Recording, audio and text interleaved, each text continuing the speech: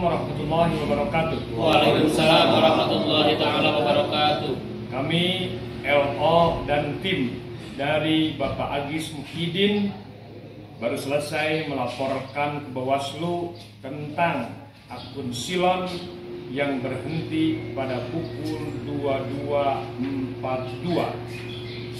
Disinyalir dengan diberhentikannya akun Silon itu ada indikasi dari KPU untuk menjegal calon dari perseorangan. Dicek gitu. Kita tuntut eh, ke Bawaslu, kita tuntut KPU. Siapa yang berani menstop akun Silon dari jam 22.24.42 Itu laporan kita ke Bawaslu. Mudah-mudahan ada solusi yang terbaik buat masyarakat Kabupaten Garut.